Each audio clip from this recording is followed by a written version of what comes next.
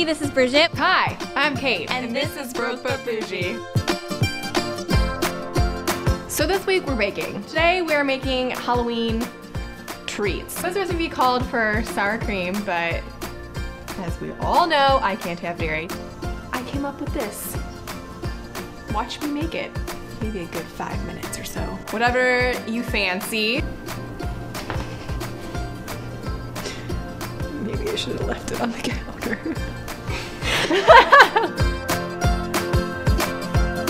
What I've got is my vases from my thrift store haul that I posted last week. My black maxi skirt is from Target. $30, this lovely farmer's market, and our two experts. The canvas, paint, matches, and glue.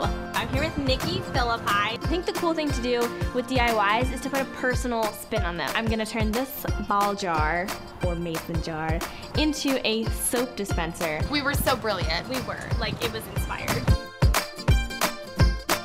Today we're gonna be talking about five fall trends that we are loving. Five reasons why you should purchase jojoba oil. Five things you can do with pumpkins. I'm gonna talk about tea tree oil and Caitlin's gonna talk about Coconut oil. I hope you guys like this video. Give this video a thumbs up if you haven't already because we asked you like 37 times. Give this video a thumbs up.